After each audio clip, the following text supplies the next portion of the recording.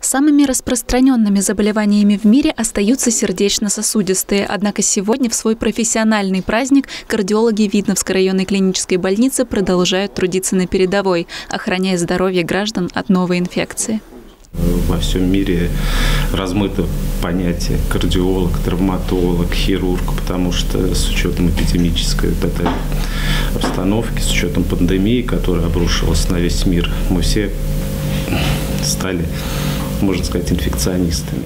В обычный день кардиологическое отделение рассчитано на 65 мест. Здесь работает 9 врачей под руководством Дмитрия Орловского. За год в отделении проходит лечение около 2000 человек, а показания качества медицинской помощи с каждым годом улучшаются.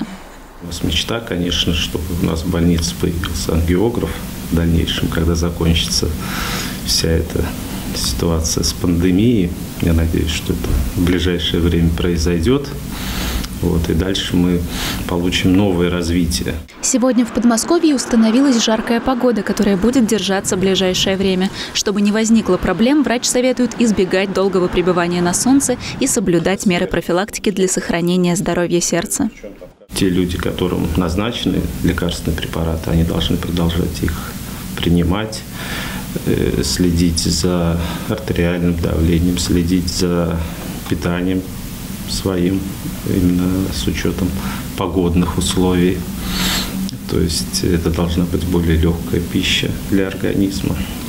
Э, физические нагрузки стараться все-таки распределять или в ранние утренние часы, или в вечернее время, когда не столь жарко.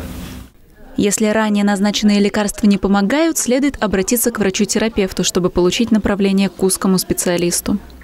Помощь сейчас оказывается, поликлиника открыта, поликлиника э, работает ну, не в штатном режиме, но приближенной к штатному режиму, потому что сейчас открыт прием узких специалистов, в том числе и кардиолога последние месяцы работа врачей-кардиологов стала еще более трудной, однако они продолжают спасать жизни жителей Ленинского городского округа, за что мы их благодарим и поздравляем с профессиональным праздником.